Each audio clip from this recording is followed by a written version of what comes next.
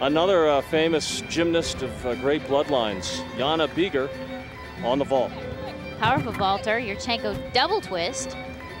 Sneaks that landing in there. Her mother was a legendary gymnast, of course, for West Germany in the 70s and three Olympiads, 72, 76, and 1980.